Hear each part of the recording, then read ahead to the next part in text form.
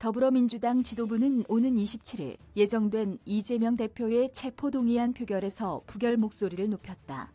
나아가 3월 임시국회를 열어 불체포 특권을 활용할 수 있는 길을 계속해서 확보해두겠다는 계획이다.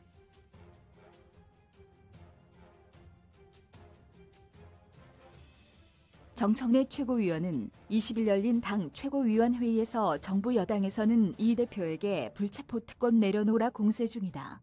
그런 말 하기 전에 윤석열 대통령 형사 불소추권도 내려놓겠다 말하라고 밝혔다.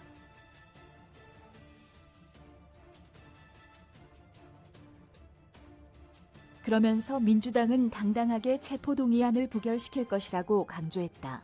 검찰이 이 대표의 구속영장에 제시된 내용을 입증하기 힘들 것이라는 주장도 이어졌다.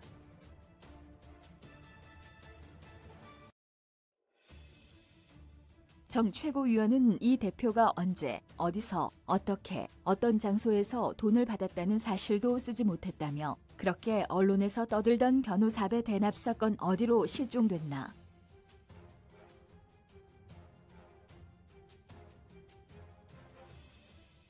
428억 원 나중에 받겠다 했는데 그 사실은 공소장에 아마 쓰지 못할 것 같다고 전했다. 그러면서 언론, 검찰에서 아무리 정적 제거, 이재명 죽이기를 하고 싶어도 이렇게 해선 안 된다며 실을 바늘 허리에 묶어서 바느질할 수는 없다고 꼬집었다.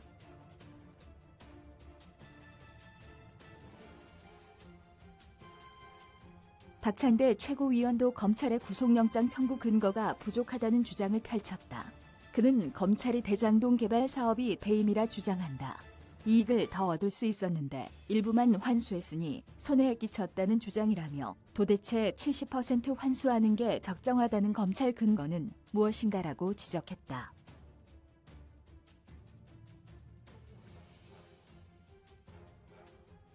또 대법원 판결로 확정된 5,503억 원의 환수금액을 부정하고 1,830억 원이라고 애써 환수금액을 축소하는 것도 괴이하지만 이게 일부밖에 환수 못했으니 유죄라는 논리는 더욱 괴이하다고 덧붙였다.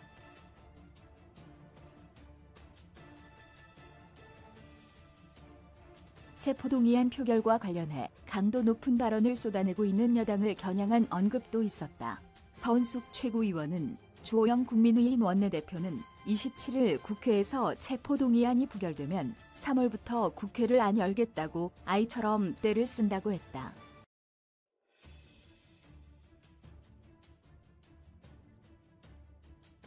그러면서 야당 대표가 구속되면 나라 살림 더 나아지나 역대급 무역적 자가 좋아지나 물가 폭등이 좋아지나 서민 난방비 폭탄 해결되나라며 집권 여당 대표쯤 되면 야당 대표에게 혐의가 있으면 공정하게 수사하고 기소해 재판하라.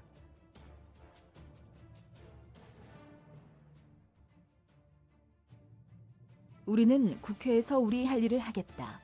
우리는 국민을 돌보겠다. 이런 대국적 자세를 흉내라도 내보기를 바란다고 비난했다. 민주당은 3월 임시국회도 열겠다는 입장이다.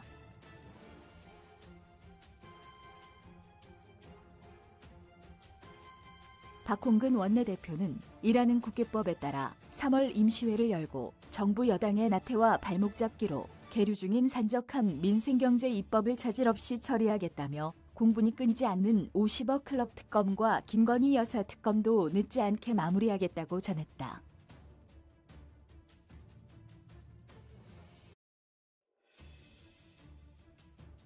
그는 여당을 겨냥해 대통령이 협치를 포기했으면 여당 지도부라도 국정 운영에 책임을 져야 하건만 너나 할 것 없이 윤사부 일체로 야당 탄압에만 몰입해서야 민생은 누가 돌보고 협치는 누가 하나라고 비판했다.